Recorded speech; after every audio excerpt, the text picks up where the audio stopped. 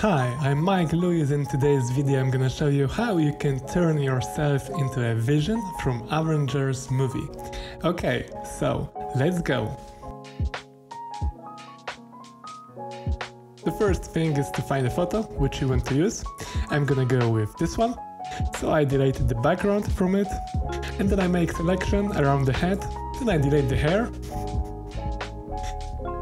and I use the liquify tool to extend the head a bit.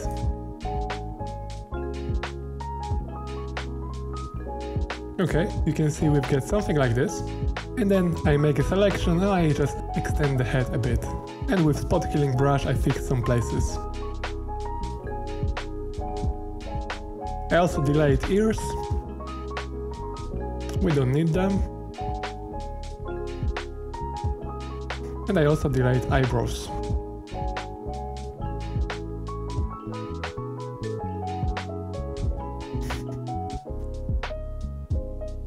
I use again spot healing brush to fix some places. And I create a new adjustment layer and I create a clipping mask to our layer and I just change the color of the skin to red. And just make sure that the red color is not affecting the eyes. I put some new adjustment layers to de decrease a bit uh, light and contrast. And then with pen tool I'm creating a new selection which later is gonna be our helmet. And I fill the selection with a gray color for now. And then I duplicate the selection to the right side. And then at the center I prepare the place for the crystal.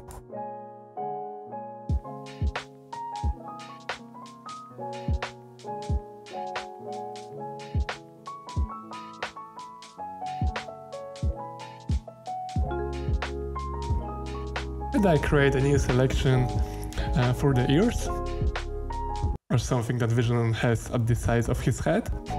And then I want to make our skin very smooth because the Vision has silky smooth skin or it's some kind of material. We want to imitate this. So I'm using surface blur and then I duplicate the original layer and I just mask a few places that I don't want to be so smooth.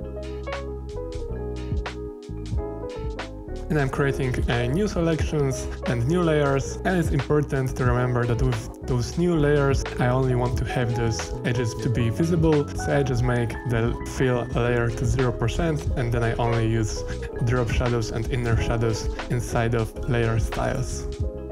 This is exactly what I'm doing right now. I'm playing with drop shadows, inner shadows and also and bevel and emboss.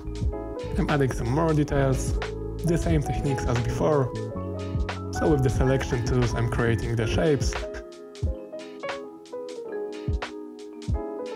And then I'm playing with uh, shadows.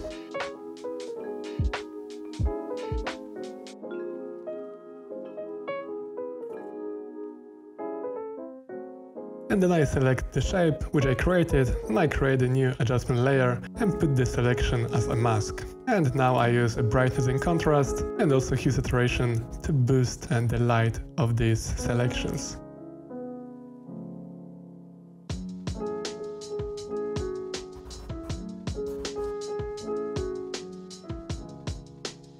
Right now it's all about the details and you can see I'm adding some new elements to our character to make sure that it looks futuristic as exactly the vision looks.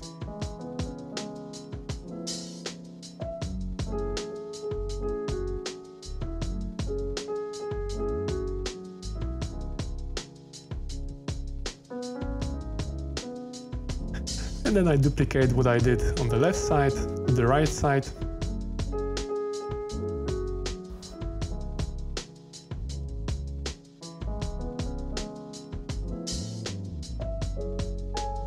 and when I'm happy with the shapes of my elements, I move to the gradients and I start with the main one for the helmet that we created uh, before. So I just go to gradient overlay and I just add colors to imitate this kind of chromish effect.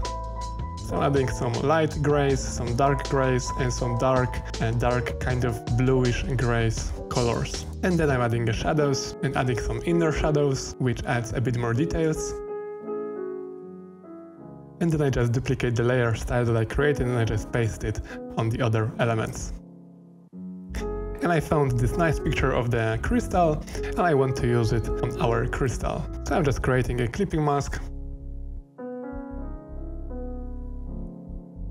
and I place it on our crystal. I put some adjustment layers to change the color to yellowish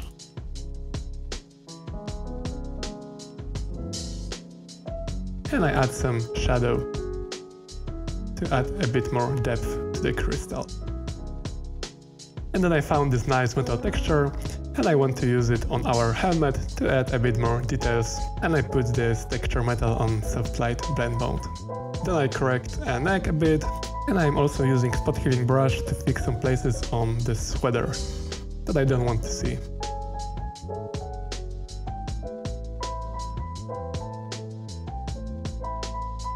And I'm creating more metal elements beneath the neck and I also paste the gradient that we created before. Then I put a background and I use field blur to blurry it a bit. And then I just put an armor which Vision uh, had on our character to just make it simple and save us some time so we don't need to recreate it and we can just merge it with our picture and I duplicate it to the right side and I blend it with the metal element that we created before. And then I'm adding some shadows and you can see that I also decided to, to change the background to city. And I add some more shadows.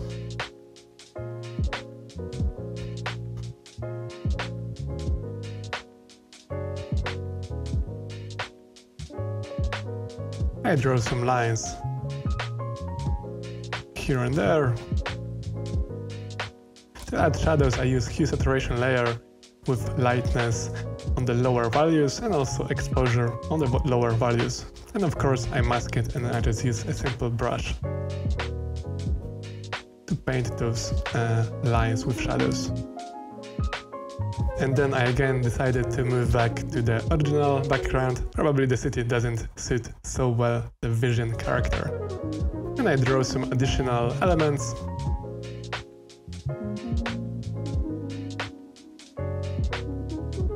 And to be closer to what Vision looks, I also decided to change the eyes a bit and to make them blue, like the original character uh, has. I add some light on the edges, and then I decided that I really want the crystal to be glowing, I created a new solid color layer and I changed the blending mode to screen and I just brush it a bit more. And then I created a new hue saturation layer to add uh, the color that the crystal is imitating to character. And I also add some edges of light and of course shadows. And on the chin I add an edge of light and I blend it with our picture. And then I add some particles to make the crystal more amazing. and then I add a few filters and I also add a field blur and then we go to our favorite tool, camera raw filter and this is gonna be our last step. So I just play with values and I also go to color mixer and I also play with values there and I add some sharpening effect and also I add chromatic aberration and vignette And that's it for today's video. I hope you liked it, I hope you learned something from it. Please give a like, comment and subscribe. Tell me which character would you like to see next. And to the next time, bye.